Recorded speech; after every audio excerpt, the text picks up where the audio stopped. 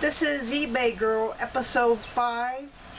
Uh, for the past six months, I haven't been making any videos. I've been very busy.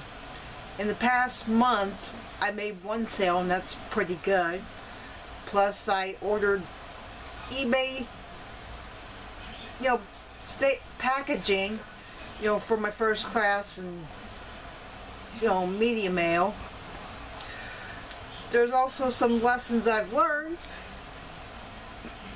I, I am going to post, you know, some other eBay videos in the future, even the about my office. That will be another video because, you know, it's not complete and there's some things I want to add and take away.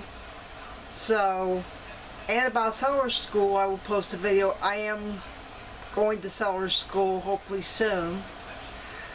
And because I, I like I said, I, I was supposed to go to Seller School, but I have been I have been really busy, plus doing some other stuff and, and a project that's almost finished in, in a couple, in less than two weeks. And I will see you on episode six. Be, don't be shy. Feel free to uh, comment, like, and subscribe. This is E. Baker. I will see you on episode six. Thank you. Take care.